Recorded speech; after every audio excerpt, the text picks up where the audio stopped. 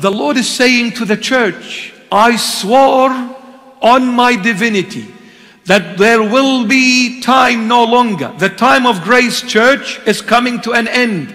And the time of grace will end in the end of times. The 21st century is the time of grace coming to an end. Do we understand as Christians what that means? The door of mercy is shut. So next time I go and I ask the Lord to forgive my sins, too late. I ask the Lord to deliver me, too late. I'll ask the Lord to heal me, too late. I ask the Lord to bring me back to my senses, too, too, too late. Gone. And the Lord gave a sign.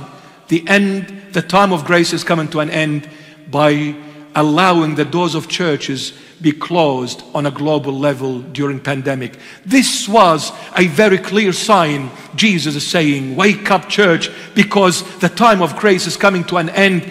Once it's over, I cannot help you anymore because I made a promise that I'll go back and bring the other fold that is awaiting me, which is Israel. I need to bring him back to me. Today they are living in total denial of the true Christ. But when I shut the door in the face of the church, I will open the door in the face of the Israelite nation.